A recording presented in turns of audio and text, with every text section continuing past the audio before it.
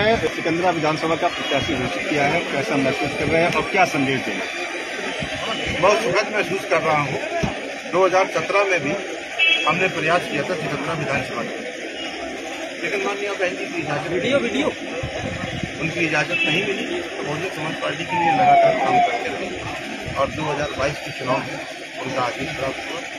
और अच्छा महसूस कर रहा हूँ संकल्प ले रहा हूँ कि यह जनता ने मौका दिया तो जनता की विश्वास देखा आपका जो लड़ाई है यहाँ के जो यूपी के राज्यमंत्री हैं अजीत पाल सिंह का कितना आश्वस्त है अपने कार्यकर्ताओं को कितने अपने पदाधिकारियों पर कि वो किस तरीके से आपकी मदद करेंगे और किस तरीके से इस चुनाव को जीतने में आपका सहयोग है अपने कार्यकर्ताओं पे तो पूरा भरोसा है ही। लोगों को जुझारू और और निष्ठा माना है।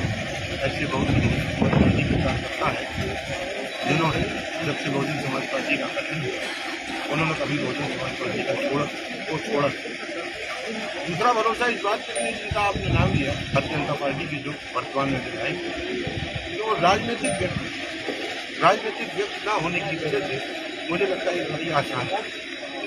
आखिरी में संदेश जनता को। जनता से मैं ये कहना चाहूँगा जैसा कि भारतीय जनता पार्टी सत्ताधारी पर भ्रमित करने का काम करती है, कभी पुलवामा जैसी घटना करा के या कभी धार्मिक उन्माद कराकर तो वो भ्रम में न पड़े। धार्मिक उन्माद जैसे उसमें धर्म और देश के उसमें को में ना आए।